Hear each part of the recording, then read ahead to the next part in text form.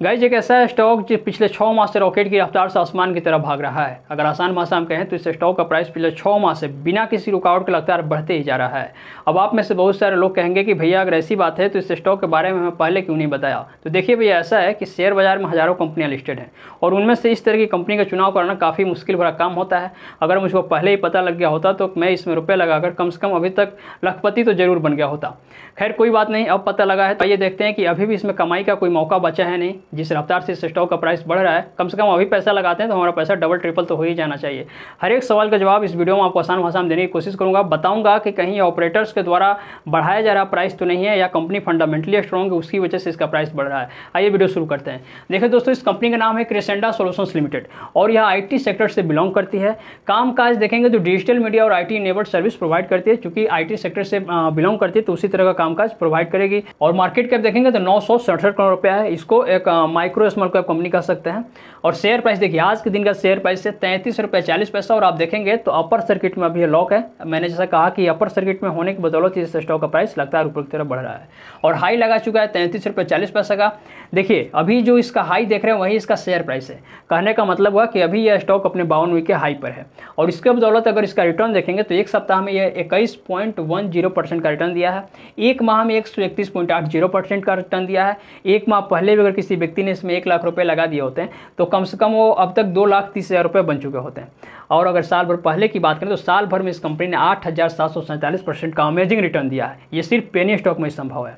अब आइए यहाँ समझते हैं। साल 2006 से लेकर 2022 तक, यानी कि इसके लिस्टिंग से लेकर अब तक यह जो स्टॉक है, सिर्फ़ दो ही बार अपना हाई बनाया है।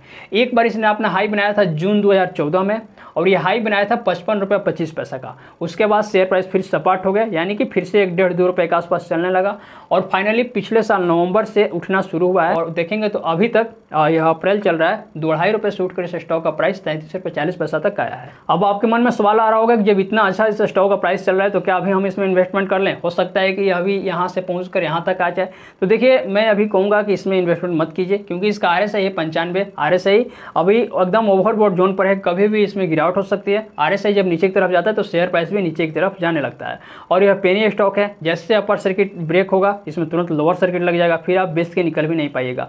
इसलिए अगर आपका पहले से इसमें इन्वेस्टमेंट है और अच्छा खासा प्रॉफिट हो गया तो प्रॉफिट बुक करते रहिए, वरना बाद में जब ये स्टॉक ऑन से मुँह गिरेगा तो संभलने का मौका भी नहीं देगा। उम्मीद है कि अगले सप्ताह से, आज तो फ्राइडे है नेक्स्ट वीक से इसमें फॉल डाउन इसका शेयर प्राइस डाउन जाना शुरू होगा और लगभग तीस तक यह स्टॉक टूटेगा। कोई भी स्टॉक जब बहुत ज़्यादा बढ़ जाता है तो उसमें हल्का गिरावट आता है लगभग तीस परसेंट तक तो इसमें भी आएगा, कोई चिंता की बात नहीं है। लेकिन अगर यह कंपनी फंडामेंटली स्ट्रॉन्ग होगी तो आने वाले समय में सस्टेन करेगी। तो आइए हम लोग फंडामेंटल देखते हैं। तो देखेंगे कंपनी के ऊपर कर्जा बिल्कुल नहीं है, एकदम डेप्ट फ्री कंपनी है।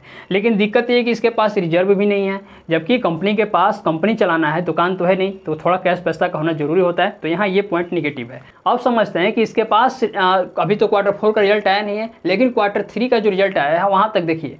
क्वार्टर टू में कंपनी को रेवेन्यू हुआ था पाँच लाख का, जो क्वार्टर थ्री में बढ़कर हो गया सात लाख का, यानी कि रेवेन्यू तो ज़बरदस्त ज़बरदस्त नहीं मतलब फिर भी बढ़ा है। और प्रॉफिट की बात करें, देखिए, क्वार्टर टू में कंपनी लॉस में था, चार लाख का इसको लॉस हुआ था क्वार्टर टू में, जो क्वार्टर थ्री में रिकवर करके पाँच लाख का हो गया। कहने का मतलब कि इस लॉस को रिकवर करते हुए कंपनी पाँच लाख के प्रॉफिट तक आई है सिर्फ़ तीन माह में। ये जो आप देख रहे हैं ना, बदलाव अच्छा बदलाव, इसको कह सकते हैं, वह सिर्फ़ इसी पीरियड में हुआ है, क्वार्टर टू से लेकर क्वार्टर थ्री तक। बाकी इतना अच्छा इसका जो मुनाफा हुआ है जो सेल्स देखने को मिल रहा है, वो इसके पहले के क्वार्टर में नहीं देखने को मिल रहा है दूर दूर तक। अब देखिए क्वार्टर फोर का रिज़ल्ट आता है। अगर क्वार्टर फोर का रिज़ल्ट अच्छा आता है तो तब तो फिर कोई बात नहीं। तब उम्मीद किया जा सकता है कि हाँ कंपनी अपने आप को बाउंस बैक करने के लिए तैयार है। सिर्फ़ शेयर प्राइस बढ़ने को देखकर शेयर प्राइस ऊपर जा रहा है, उसको लेकर खुश मत हुई ये पूर्ण रूप से ऑपरेटर्स द्वारा शेयर प्राइस को लेकर ऊपर जाया जा रहा है। यहाँ मैं बताऊँगा आपको। आप देखिए, इसका बुक वैल्यू है पॉइंट आठ ज़ीरो, यानी कि एक रुपये से भी कम इस कंपनी का बुक वैल्यू है। और इसका रिटर्न ऑन इक्विटी और रिटर्न ऑन कैपिटल दोनों ज़ीरो परसेंट है। यानी कि ये पॉइंट बिल्कुल नेगेटिव है। जबकि रिटर्न ऑन इक्विटी अगर एक पाँच सात परसेंट भी होता तो पेनी स्टॉक में मानकर चलते कि बेहतर होता। यहाँ समझेंगे प्रोमोटर्स के पास सिर्फ़ आठ पॉइंट चार दो परसेंट की हिस्सेदारी है। प्रोमोटर्स की हिस्सेदारी कम है। इसका मतलब ये हुआ कि इसमें ऑपरेटर्स आसानी से हावी हो सकते हैं और ऑपरेटर्स हावी हैं तभी से स्टॉक का प्राइस दो ढाई रुपये से लेकर बत्तीस रुपये पहुँच गया। बिना ऑपरेटर्स के ऐसा संभव नहीं होता। और समझेंगे पब्लिक के पास मैक्सिमम शेयर्स लगभग बानवे परसेंट के आसपास पब्लिक के पास इसके हिस्सेदारी है। तो ओवरऑल बात करें तो तो देखिए भैया, ऐसा है कि ये पेनी स्टॉक जो है, पूर्ण रूप से ऑपरेटर्स के हवाले हैं और ऑपरेटर्स इस स्टॉक के प्राइस को लगातार बढ़ाते जा रहे हैं। तो उम्मीद करता हूँ मेरी बातें आपको समझ में आ रही होंगी, वीडियो इन्फॉर्मेटिव लगा होगा। फिर भी अगर मन में कोई सवाल है, कोई कन्फ्यूज़न है तो आप हमसे ज़रूर पूछिए, मैं उसका रिप्लाई दूँगा। पर्सनली मुझसे जुड़कर बातें करना चाहते हैं मुझे इंस्टाग्राम पर फॉलो कर लीजिए। मिलते हैं नेक्स्ट वीडियो में, तब तक धन्यवाद, शुक्रिया।